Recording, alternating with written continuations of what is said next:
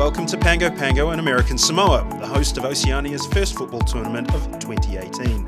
My name is Gordon Watson.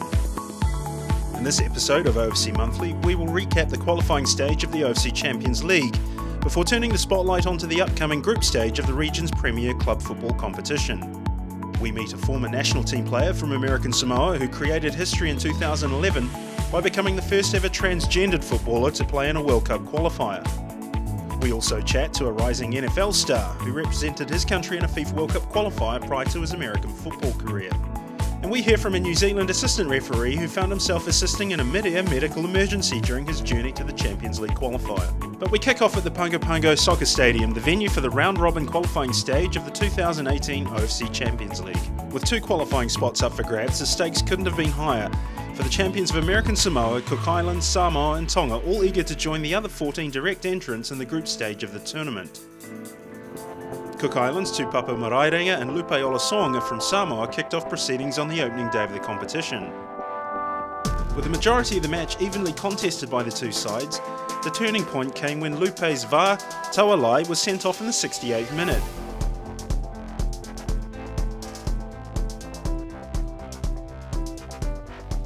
Just five minutes later, the Cook Islanders managed to capitalise on their numerical advantage. Sean Latimer's spot kick was enough for Tupapa to grab the points and get their campaign off to the best possible start.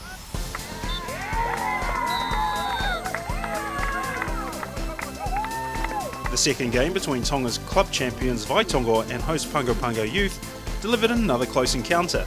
Tongan Youth International Soakai Vea netted from a free kick in the 14th minute, but Veitongo's celebration was cut short with referee Veer Singh ruling the goal out. Things turned bad to worse for the visitors following Nissan Silau's speculative long-range attempt, which was totally misjudged by Motakiai Faupola in Veitongo's goal. There is uh, the goalkeeper. Oh dear. Pago's luck ran out when substitute Ruben Luva Jr. was sent off for a second bookable offence. Tongans took full advantage in injury time courtesy of skipper Sione Uhatai.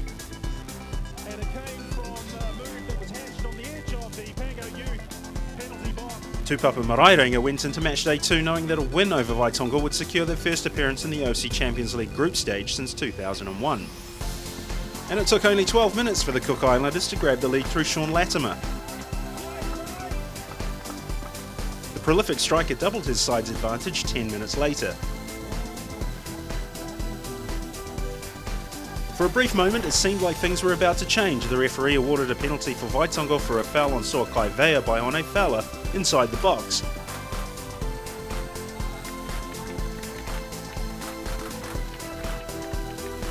However, the young striker lost his cool and was shown red, and despite Vai Lutu's conversion from the spot, the Tongans were up against it with an, almost an hour of football remaining in the match.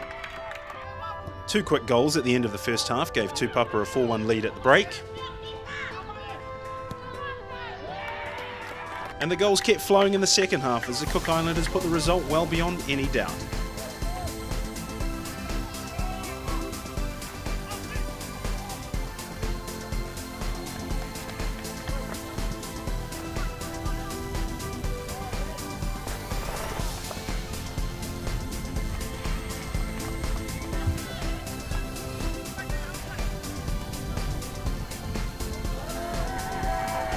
Despite Lutu scoring a game from the spot in injury time, Tupapa ended the match with a resounding 9-2 win to secure their spot in the OC Champions League group stage for the first time in 17 years.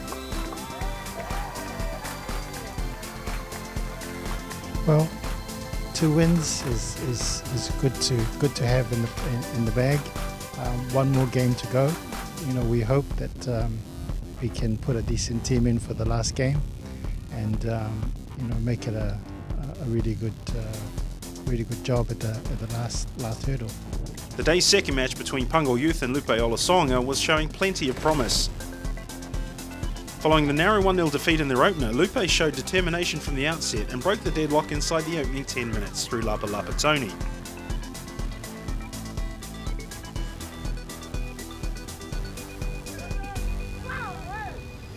The Samoans scored two more before Roy Ledoux replied on the half hour mark to keep the host faint hopes alive.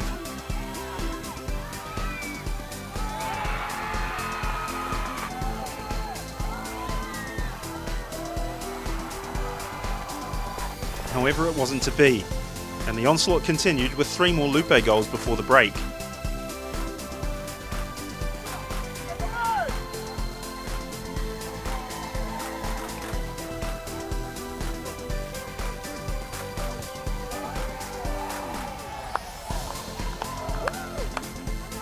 Suavai Atanga followed up his first half hat trick with a brace in the second to finish the match with five goals.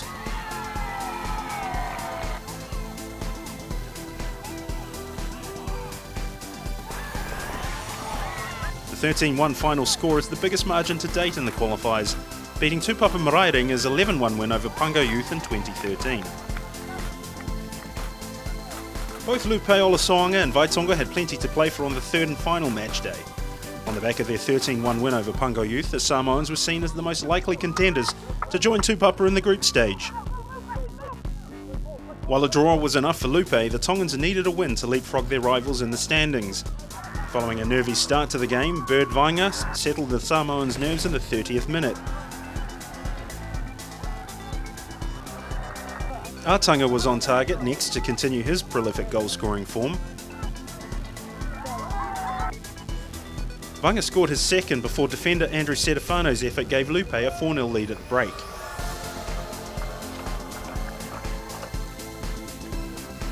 In the second half, substitute Darren Alatina Talalai grabbed a brace to help his side to a 6 0 win and secure the Samoans' qualification to the group stage.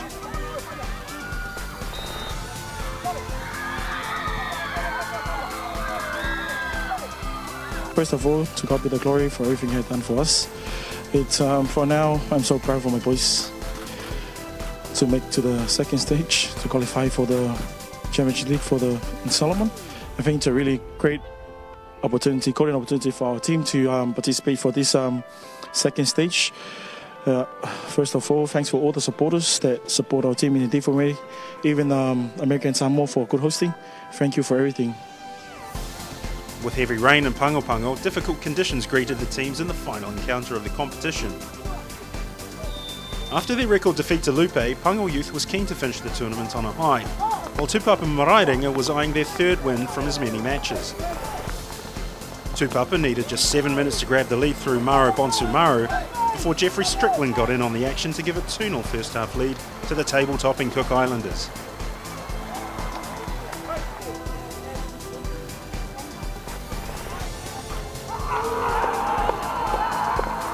Bonsumaru and Strickland were again on target in the second half, followed by Sean Latimer's 79th minute effort to secure a 5 0 win.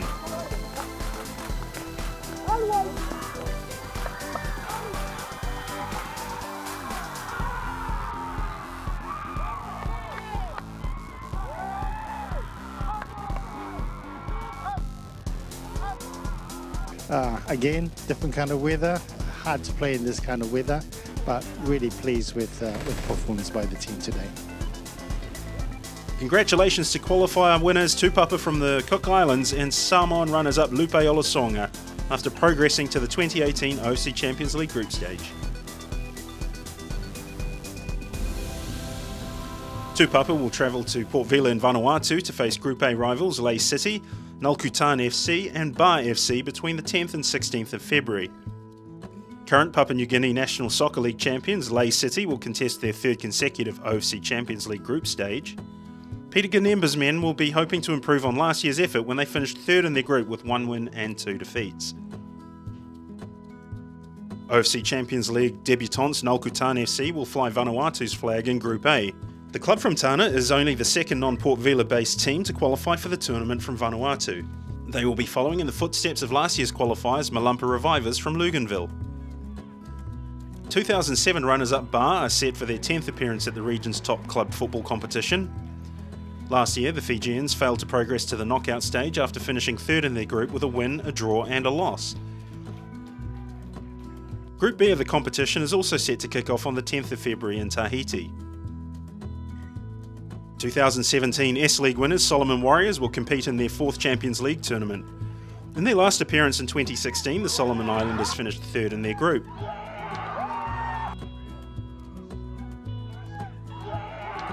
AS Dragon will return to regional competition for the first time since 2014. It will be the Tahitians' third continental campaign. New Caledonia's AS Lössi will also be eyeing a successful return to the competition following their disappointing 2016 campaign when they lost all three group matches. Meanwhile, Vanuatu's Erakor Golden Star will be hoping to build on their Champions League experience from last year. In their 2017 debut appearance, the Port Vila based club finished third in their group with two defeats and a win. Auckland will host Group C of the competition between the 25th of February and the 3rd of March. Host Auckland City FC will again enter the tournament as the team to beat. The regional giants have ruled the OFC Champions League with an iron fist, winning it a record nine times, and seven times in a row since 2011. Lautoka FC will be another club eager to make a meaningful return to continental football for the first time since 2011. In their previous two attempts in 2010 and 2011, they finished second and third in their groups respectively. Papua New Guinea's Madang FC made their Champions League debut last year with two defeats and a win to finish third in their group. AS Venus will go into the group stage high on confidence after halting Tahitian powerhouse AS Tefana from making their fourth consecutive appearance at Oceania's international club competition. Venus have twice before represented Tahiti at regional level, including the 1999 and 2001 Oceania Club Championships. And finally, Honiara will provide the venue for Group D action also between the 25th of February and the 3rd of March. Team Wellington will embark on their fourth Champions League campaign, and the men from the New Zealand capital will be hoping to go one better after failing at the last hurdle to finish runners up to Auckland City FC in the past three years. 2005 runners up AS Magenta from New Caledonia have a rich pedigree at this level with seven previous appearances. In 2017, the Noumea based club finished top of Group B with three wins from three matches to set up a semi final with Team Wellington. Following a 2 all draw in their opening leg, the New Caledonians suffered a 7 1 defeat in New Zealand. OFC Champions League qualifier runners-up Lupe o le Soaga can take plenty of positives from their 2017 Champions League group stage performances. Last year the Samoans only lost to Magenta 2-1, before another narrow 4-3 defeat against Madang FC, and finally a 3-0 defeat to Tahiti Central Sport. Marist FC from the Solomon Islands will also fancy their chances to progress to the quarterfinals in what will be the club's fifth OFC Club tournament. In 2017, they finished the group stage second behind AS Tefana following a win, a draw, and a loss. Top two teams from each group will progress to the knockout stage. Next, we'll meet a rising star of America's NFL football who still remembers his strong Pacific soccer roots. Being back and uh, I was able to make it to one of the games, you know, watch the boys play, I think they have a lot of potential in them, you know, to grow as a soccer player and even that as men, you know. Because I know um, there's some young players on the team and um, I think they're not ready to be on that level yet, you know. So just for them being here and for the uh, uh, American Samoa Association, um, keep building the clubs here and stuff like that. We'll let them grow, make them grow as like one of the best players, you know, to play soccer. But they'll grow to be one of the best player here on the island. So. Oh well, I grew up with uh, two brothers, three sisters, uh, with both parents in my life, and then uh, I was born here in American Samoa. I left high school without a scholarship, so um, I went with the uh, under 19 World Championship game to in Texas. So we had an American Samoa football team, went to Texas and played and play there. And then I've decided to uh, stay in the States to play football and to continue school. And then uh, I played there for two years. Then after that, I found out I was eligible to move on to university. Then I got a scholarship to Washington State, and I was able to go there and uh, take my skills to the next level and my education to the next level. But then uh, it all went from there, you know. The 221st pick in the 2017 NFL Draft, the Oakland Raiders select Shalom Luani, safety, Washington State. After two years at Washington State, I got drafted to the Oakland Raiders. It was a blessing, you know. I was blessed to given an opportunity to play in the next level. So that's one of the main questions they've asked me every time I get interviewed is how do you um, brought soccer into football? And I just told them that soccer gave me footwork. So like the drills they've given me, it helped me um, be able to move quickly and fast. So yes, it's a big time uh, helpful. The most memorable moment was when I scored the first goal against Tongan in the World Cup qualifying appeal. It was nothing.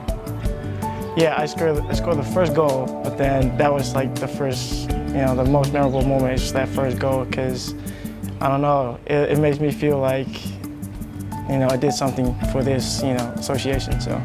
And also being a, the youngest player on the team, you know, it's, it makes me feel special to, to play, especially with like the older guys, the big guys, you know, and be able to compete with them. So it was, it was awesome.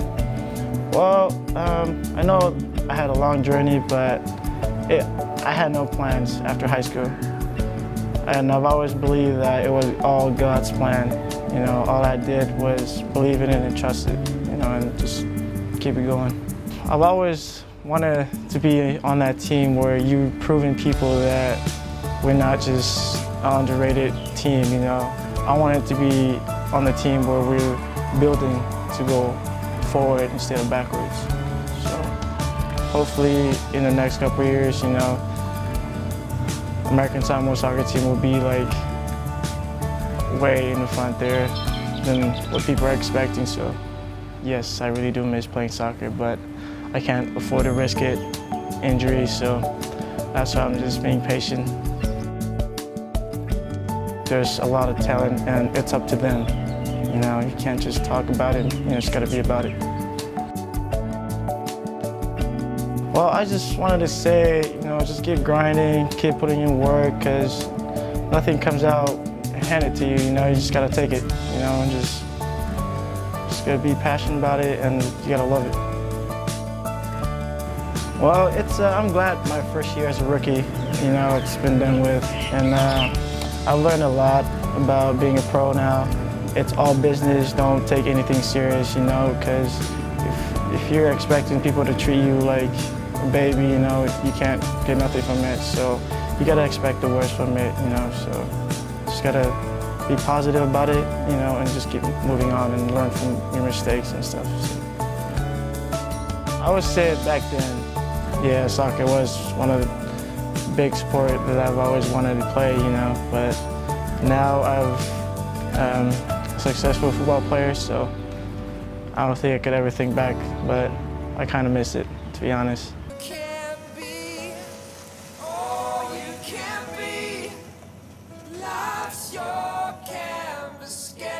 Jaiyah Saelua was another footballer who played in American Samoa's historic qualifying win over Tonga in 2011.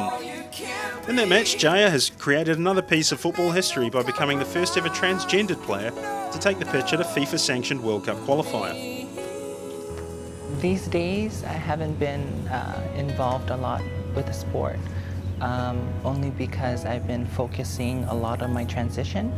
Living in Hawaii, uh, they're not very, they're not as accepting uh, in the sports realm of fa'afafine and of transgenders, and so um, I guess it was the lack of confidence to play and the lack of opportunity to play. It was hard for me to find a team that would um, allow me to play the way I am. And so slowly I've been drifting from the sport. Um, but since I moved home in November, um, being comfortable with the people and knowing that I'm accepted here by uh, my people and the culture, um, I feel like I need to be more involved and get involved with uh, de the developmental efforts of the local soccer association and seeing the rate of development that they've put forth so far since 2011, since I last played with the national team. Um, it's very inspirational. Soccer has a very special place in my heart. Um, it was the first sport that I played um, when I was 11 and it's the kind of sport that um, I want to be a part of and not only is it fun, but it has given me a lot of opportunity, both local and internationally.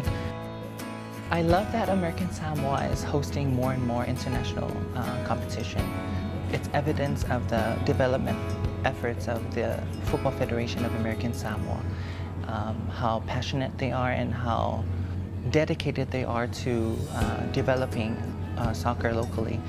It's good too for the community to see um, teams from other countries come in and I guess the sport is being more appreciated within the Samoan community, the American Samoan community. During the games on Saturday, uh, there were a lot more people who came out to see the, the games um, from when we played. so the interest has grown um, from the grassroots level and it's just nice to see um, the Football Federation of American Samoa hosting more international matches and yeah, it's, it, it's inspiring. I think my dream for the association is the same as everyone's dream um, in their respective countries is to see um, American Samoa uh, reach um, the World Cup.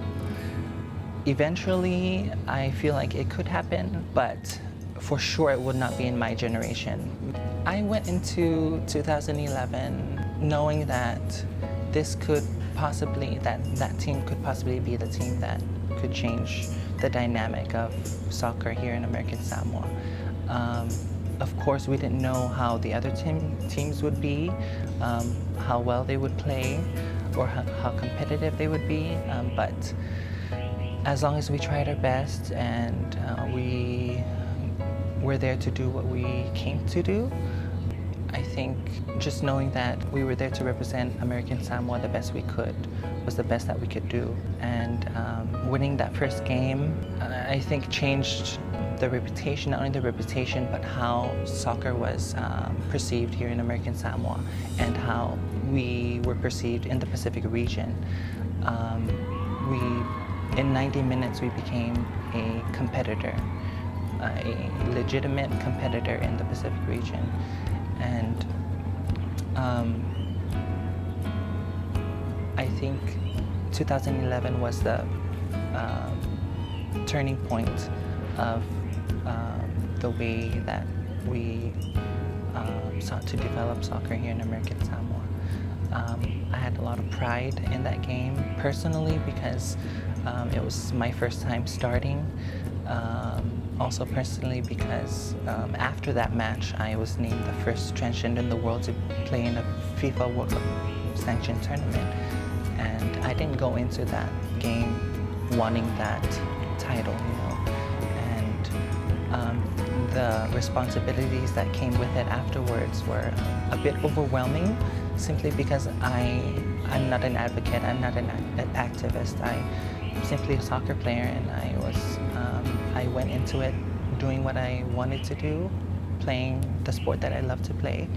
And it just so happened that no other transgender in the world has played in a FIFA sanctioned tournament. Um, and to, to know that, that a first in the world has come from such a tiny uh, Pacific island in the Pacific region. Um, I mean, the OFC is uh, the smallest um, confederation in FIFA, and to have that sort of progress come from our region is, um, I think, is a very good sign of um, how open-minded the Pacific region is, and I think the rest of the world can learn a lot from our region. I understand that a lot of Pacific countries in the Pacific region are similar um, culture-wise uh, when it comes to um, their uh, respective transgender communities. And so um, the acceptance is there, the respect is there in a lot of Pacific Island cultures. Um, what needs to happen is um, from the Fa'afafine and respective transgender communities around the Pacific region is they need to understand that there are opportunities out there. And um, so long as they stay true to their passions of playing whatever sport it is that they want to play, and knowing that they have the whole region to back them.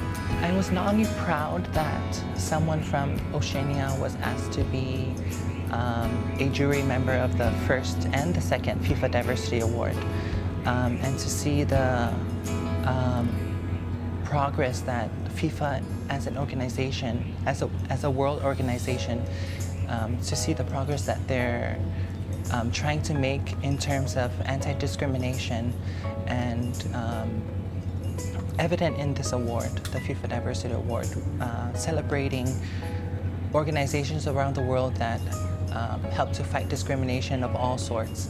And then to have FIFA ask uh, a transgender person to sit on a jury of only 11, 11 members from all over the region, or all over the world. Um, it made me proud to be from the Pacific region, but it also made me proud to be a Fa'afafine and it made me proud to be a part of a sport that is finally um, celebrating diversity.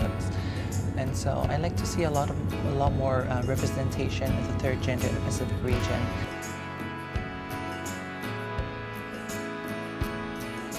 And finally today, let's meet New Zealand assistant referee Hayden Tutbury, who was called upon to assist in a mid-air medical emergency on his flight to the 2018 OC Champions League qualifiers. So for leaving Auckland um, and heading to Samoa um, on the flight there, um, about an hour into the flight, uh, there's a, a announcement over the intercom um, saying is there any doctors um, or medical medically trained staff um, on the flight and I could see the guy, he was sitting to my right about three or four seats up so I basically put my hand up and said, oh, what, what, do you need? And they said, oh, we think this guy's having a heart attack or we're not quite sure. Um, so we, we, need a doctor. And I said, well, I'm not a doctor, but I'm medically trained. Um, so I said, well, I can, I can loan some assistance. Uh, so what happened was I took his uh, blood pressure and, his pulse uh, and worked with the staff at Air New Zealand to relay that information down to a doctor in Auckland. Um, so we relayed with that.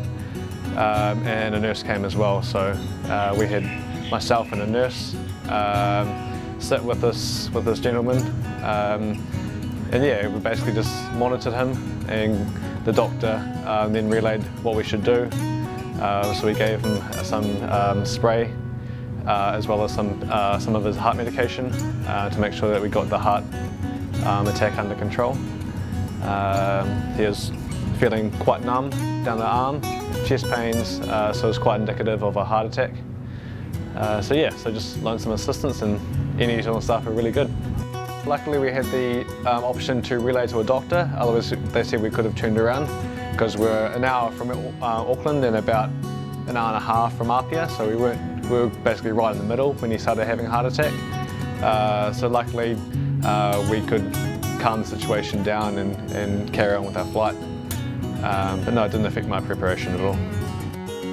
No, I don't, well, I don't think I'm a hero. I think I was just at, at the right place at the right time and, and I could see the guy um, and saw that no doctors were on the plane, so I just put my hand up and, and as I said, the New Zealand staff were, were very appreciative and they're actually very good. They sat with the, with the guy for the last two and a half hours of the flight, um, rotating the staff. Um, so the New Zealand staff were, were very good um, in terms of what they did. They got the oxygen um, and, and the right medical sort of advice, which is exactly what you want. And that's our program for now, but join us again next month for more stories from the world of Oceania football. Goodbye for now.